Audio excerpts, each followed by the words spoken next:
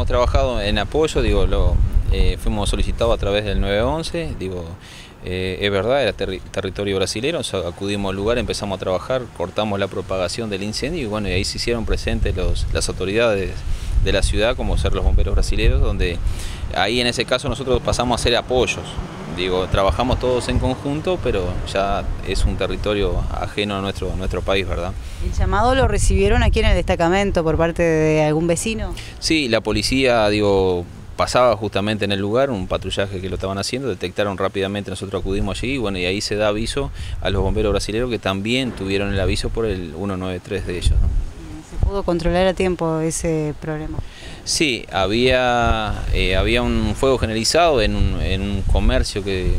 eh, en un bar que hay allí, bueno, habían dos empresas importantes que estaban contiguas y bueno, se pudo evitar la propagación, como así también a cinco viviendas que había en la parte de atrás, donde habitan personas allí, donde eh, construcciones de madera y bueno, eso lo que hace es favorecer la propagación del incendio a, a esos lugares, ¿no? Bueno, felizmente se pudo trabajar con tres puntos de ataque